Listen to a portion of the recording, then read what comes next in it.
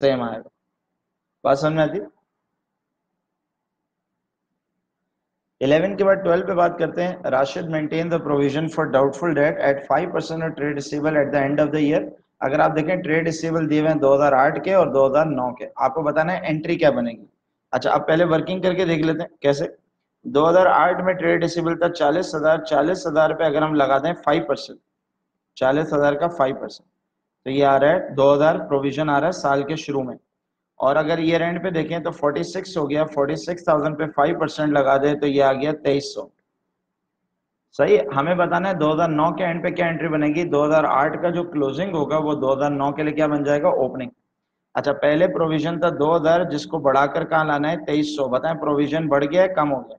बढ़ गया। कितने से बढ़ गया? 300 अगर प्रोविज़न बढ़ गया, ये इनकम है एक्सपेंस ये एक्सपेंस जब एक्सपेंस होता है तो हम क्या एंट्री बनाते हैं? इनकम स्टेटमेंट डेबिट और provision for doubtful debt account credit income statement debit क्यों होता है? क्योंकि लॉस है एक्सपेंस और प्रोविज़न क्रेडिट क्यों होता है? प्रोविज़न एक कॉन्ट्रा एसेट है। जब भी कॉन्ट्रा एसेट बढ़ता है तो वो क्रेडिट होता है। इनकम स्टेटमेंट डेबिट हो रहा है क्योंकि लॉस है एक्सपेंस है। अगर गेन हो रहा होता तो उल्टी एंट्री बनाते हैं। इनकम स्टेटमेंट क्रेडिट हो जाती और प्रोविज़न कॉन्ट्रा एसेट है, उसको कम करने के लिए डेबिट कर देते लेकिन अभी आंसर क्या आ रहा है? अभी आंसर आ रहा है ए याद रखें, जब भी पहली दफ़ा प्रोविज़न बनाएँगे या प्रोविज़न पहले से बढ़ जाएगा तो ये ए वाली एंट्री बनेगी। और अगर प्रोविज़न पहले से कम हो जाएगा तो फिर एंट्री रिवर्स हो जाएगी, फिर ये सी वाली एंट्री बनाएगी सही जी ट्वेल्व का आंसर ए आ रहा है, बिल्कुल सही। क्वेश्चन नंबर ट्वेल्व के बाद बात